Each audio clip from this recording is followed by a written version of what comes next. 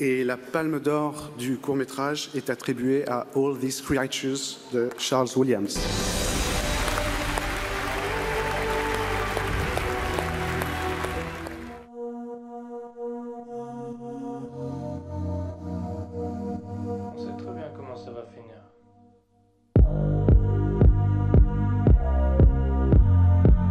Uh, so uh, my name's Charles Williams. I'm from Australia, and my film is called All These Creatures.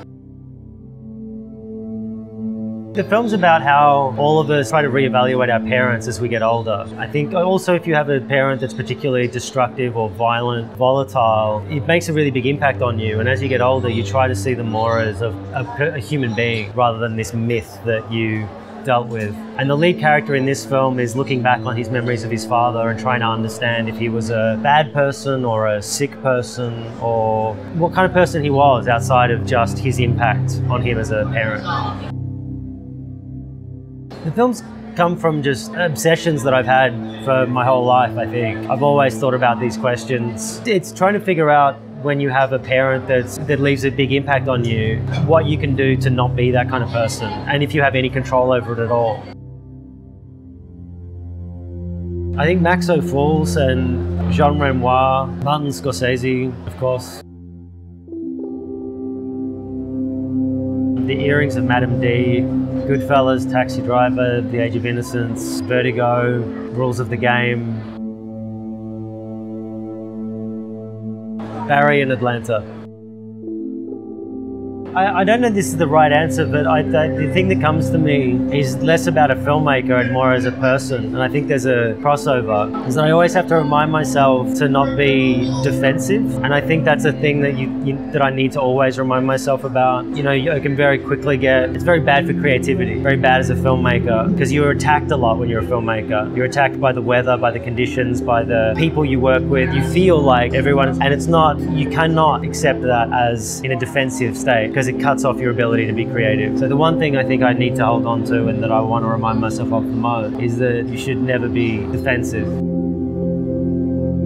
Good one, I hope. I think for me, like, and this film is a lot like that as well, is that you have to adapt to each piece. Sometimes you have to literally read a line for somebody and get them to do it exact. You have to make everything very precise. And sometimes you have to let it all go. That you can't be one way or the other. You know, like on one hand, you've got John Cassavetes, and on the other hand, you've got Hitchcock. But I think the filmmaker I want to be is the one that has both. You can have this kind of explosive, actorly freedom. I love actors when they're just out of control. I also love filmmakers that are very So I like to try and combine the two so that you've got this kind of documentary realism mixed with a kind of disciplined cinematic approach.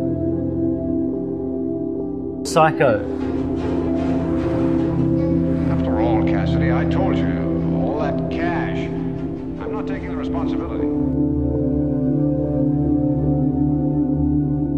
It's an incredible honor, but it also feels to me like a, a, really important opportunity and responsibility. I want to live up to the expectations that come with being selected in Cannes. I think it's, it means a great deal to me, and uh, the festival is really important to me. So I want to make sure that the festival is proud of me and they're proud of the work that I go on to do from here.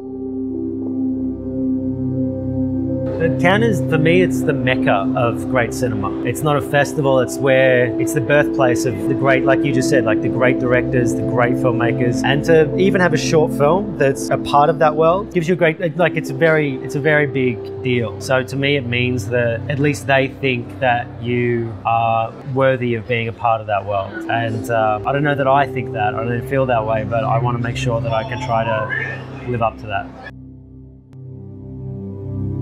Almost cried. Very excited, overwhelmed, and um, yeah, like a dream.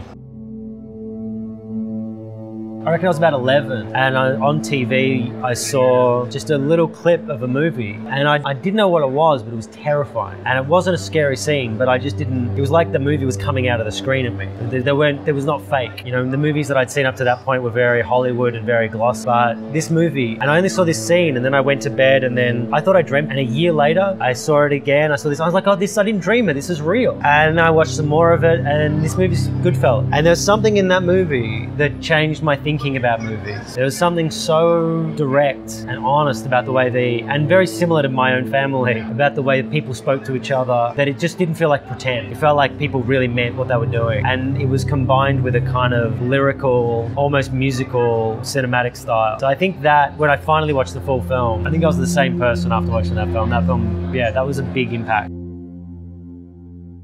I haven't made that movie yet.